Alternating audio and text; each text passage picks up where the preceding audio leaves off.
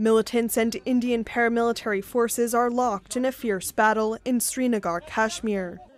Five paramilitary personnel and two militants were killed in the violence outside a public school on Wednesday.